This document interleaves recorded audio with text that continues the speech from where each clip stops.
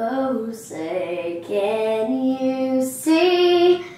By the dawn's early light what so proudly we hailed at the twilight's last gleaming, whose broad stripes and bright stars through the perilous fight o'er the